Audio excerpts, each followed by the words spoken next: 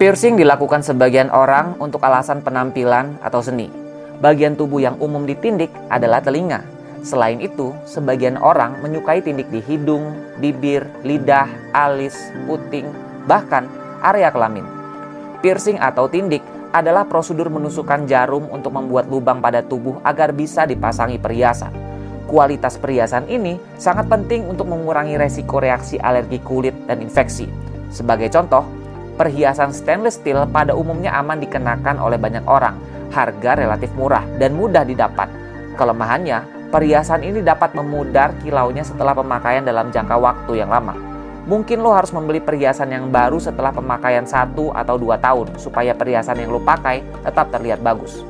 Selanjutnya, perhiasan emas. Meskipun dianggap perhiasan terbaik dan paling diminati oleh banyak orang, ternyata emas tidak semuanya baik untuk dikenakan pada tubuh, khususnya pada tindikan baru. Hanya emas 14 karat dan 18 karat yang dikatakan aman untuk dikenakan pada tindikan tubuh, Penggunaan emas di bawah 14 karat meningkatkan kemungkinan kotoran logam yang dapat menyebabkan reaksi alergi. Sementara emas di atas 18 karat umumnya terlalu lunak sehingga menjadi mudah tergores dan meningkatkan potensi terjadinya infeksi. Bahan logam lainnya yang telah banyak digunakan dan terbukti aman dalam industri teknik tubuh adalah titanium.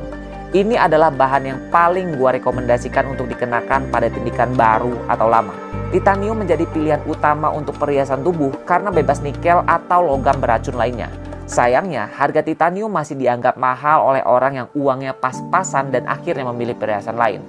Yang terakhir, perak. Ini yang masih banyak orang keliru dan salah pemahaman. Perak dianggap perhiasan mahal dan aman. Mahal mungkin iya, tapi jelas tidak aman. Perak adalah perhiasan yang harus lo hindari karena tidak cocok untuk dikenakan pada tindikan baru yang belum sembuh.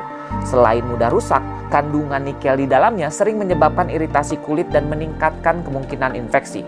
Kalau lo ingin memakai perhiasan ini, pastikan hanya lo gunakan pada tindikan yang sudah sembuh saja. Udah tahu kan harus pilih yang mana dan beli di mana? Gue Nio dari Piercing Indonesia, Indonesia number one piercing shop.